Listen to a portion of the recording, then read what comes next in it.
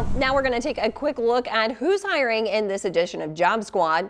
Aisin Electronics has a variety of opportunities open, and that includes lot engineer, second shift maintenance technician, Japanese translator, and more. And higher level is looking for a machinist in Raleigh, Illinois, and a chef at a location in Carbondale. Now, if you and if you're in the medical industry, Jackson County Health Department, they are seeking a public health administrator. You can learn more about these jobs at our website at WSILTV.com.